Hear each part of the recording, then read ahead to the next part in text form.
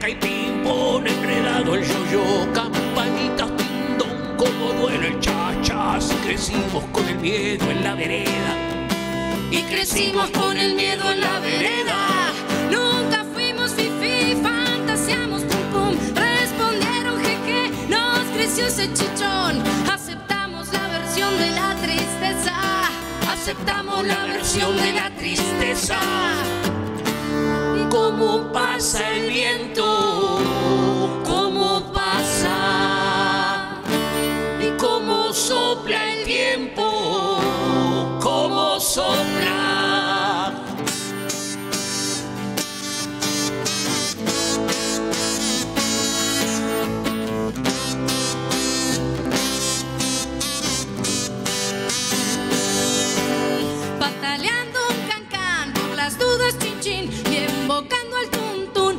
Cual payasos plin plin. Creciditos, democracia y desconfiados. Hombrecitos, democracia y desconfiados. Otro vista en pum y otro polvo en nana. El tic tac y el cucú nos volvimos gaga.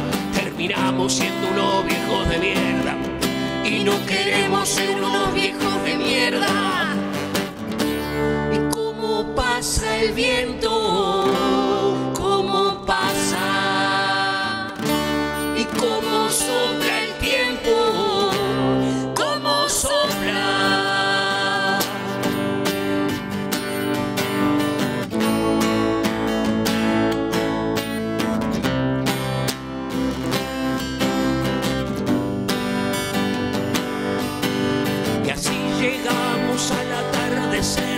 Una murga que no puede más y a los saltitos antes de caer de este tablado. Ni columninas ni ningún pierrot van a poder volverme a convencer que aquel cumple justificó nuestro pasado y que ya es hora de entonar retirada.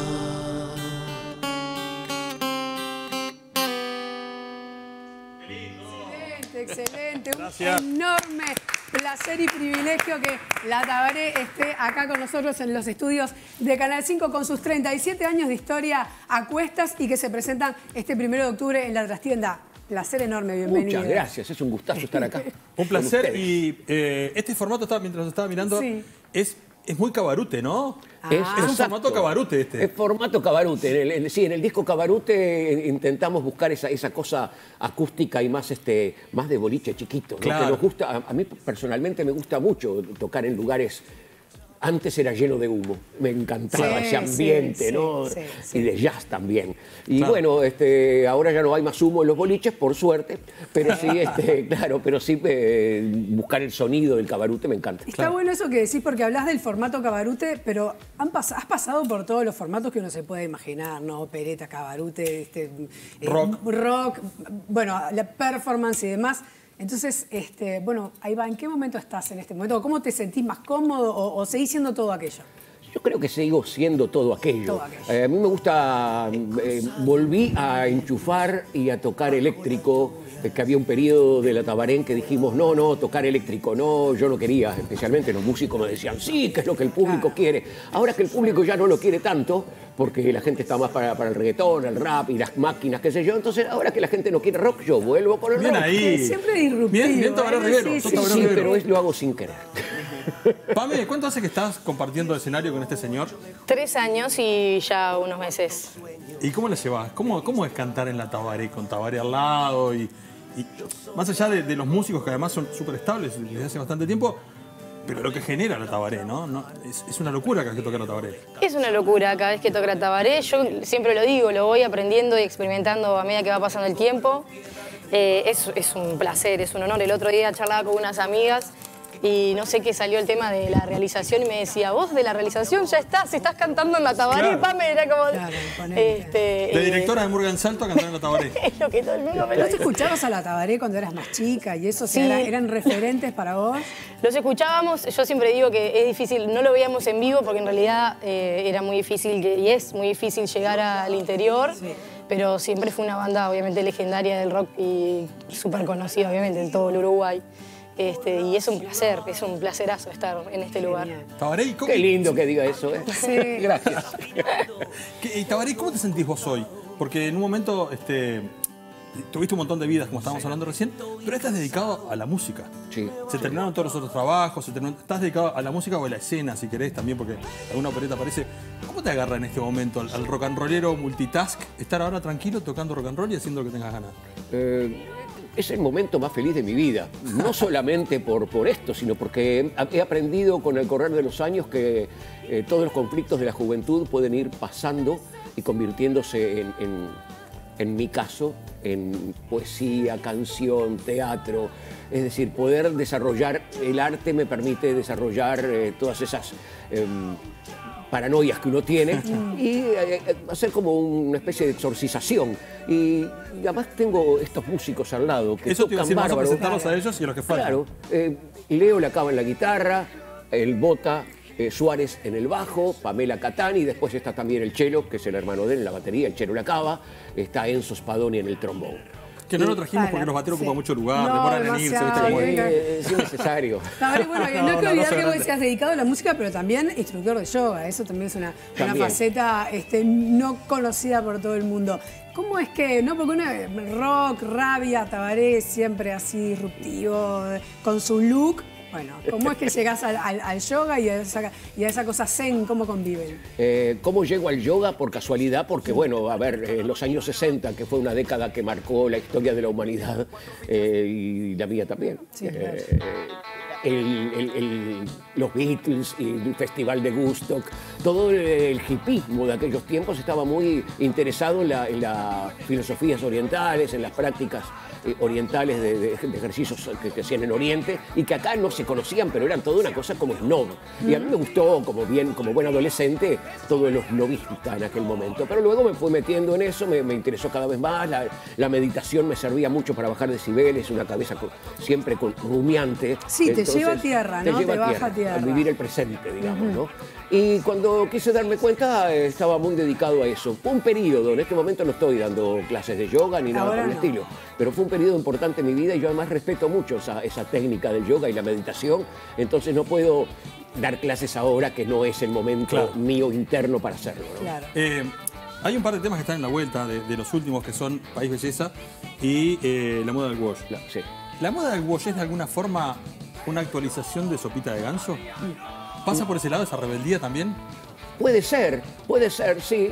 No lo había pensado. Es una pero- buena lectura. pero claro, es una buena lectura. No, no, no lo había pensado, pero sí, de alguna manera es, es tomar otra vez conciencia de, bueno, de esas inquietudes y volver a plasmarlas ahí en, en una canción. Recomiendo especialmente que, la- que las escuchen, pero eh, me parece que, que en 37 años has escrito.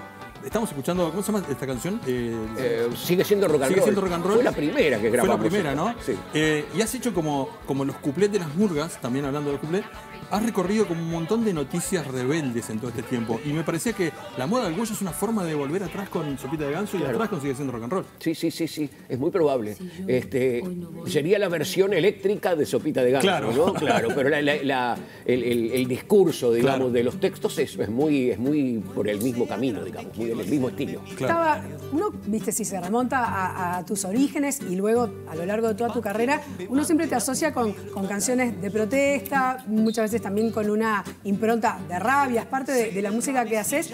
Y yo sigo escuchando eso, pero ha mutado, ¿no? Un poco. ¿Cómo, cómo describirías como eso, ese, ese devenir de la banda? Y de Creo- vos, más, sí. más bien, ¿no? Yo creo que canciones de protesta para mí fueron todas canciones de amor. ¿no? Ahora, ¿qué es el amor? El amor romántico, tengo celos, te amo, te extraño, no una puedo vivir baladita, una baladita, Tabaré. Claro, o una canción de amor es decir algo que uno siente en el alma y que tiene necesidad de expresarlo y tiene necesidad de que alguien lo entienda y se comunique o con una energía que manda el público. Yo creo que lo que hacemos nosotros son canciones de amor, desde toda la vida. Y, y aunque no hablen del amor romántico, el amor eh, acaramelado, no habla de eso, es otro tipo de, de amor. Es un amor más eh, de las entrañas, ¿no? Sí, visceral. Eh, visceral. La vida mismo, ¿no? La vida, exactamente. Y sí, hemos eh, mutado, es decir, eh, envejecido y al envejecer uno va cambiando un montón de sentires, aunque la rabia permanece, pero como decía recién, la puedo escribir, la puedo, la puedo dosificar al- porque la convierto en un hecho artístico. ¿no? Por eso digo que el arte es fundamental en la vida del ser humano. Eh, seas buen artista, seas mal artista, no importa. El pintor, el que hace murga, el que toca el tambor, el que canta rock o el que canta boleros, o el que baila. Pero no, no baila los fines de semana. Me refiero a bailar eh, Sí, con sí. todo el alma y el cuerpo. Es una expresión que salva de los suicidios y, y es un proyecto de vida. Es tan importante eh, las escuelas de arte que se han abierto como, eh, como aprender contabilidad. ¿no? La verdad que es un placer. El primero de octubre, está para hablar horas, ¿no? El primero de octubre en la trastienda. Un gustazo. Eh, tengo una púa afinada para vos. Estuve media hora tratando de levantarla, ¿Está ¿eh? afinada? Sí. Hacemos se agachaba, una última. uno de ustedes no veía, se agachaba para agarrar la púa, no la podía levantar. Es un placer, de verdad. Un- un- una más y no jodemos más. Y, y estamos ahí el primero de octubre. Va a ser un, un enorme placer de nuevo ver a Tabaré, como siempre, esta vez en la trastienda. Muchísimas gracias, los A espero. ustedes, muchas gracias. Sí, claro y gracias sí. a la gente que tiene la amabilidad de escucharnos. Arriba.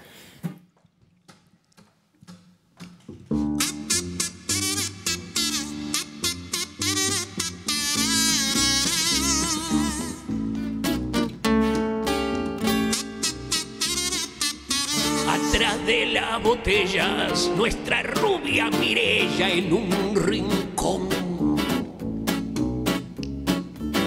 Final del primer acto, como cumpliendo un pacto en la función. Eso, como patadas en los huesos, como los besos que volaron la amistad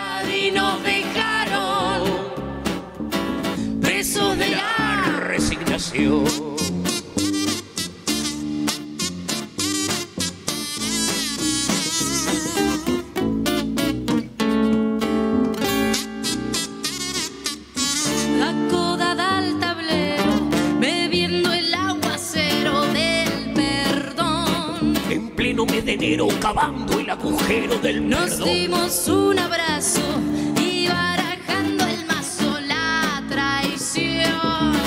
hecho pedazos, así que no hagas caso, es la intuición.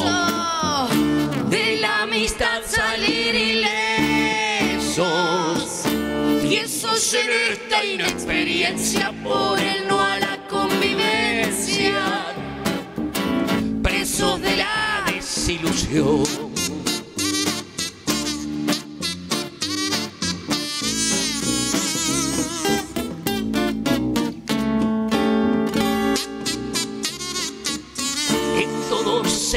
Años de blues y desengaños, la pasión. Diapasón.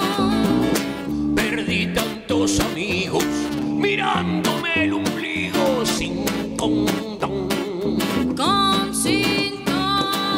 Pero ahora ya sé que no te quiero.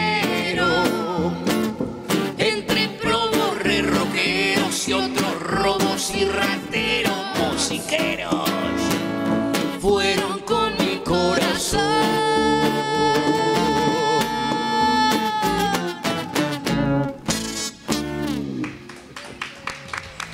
Muchas gracias.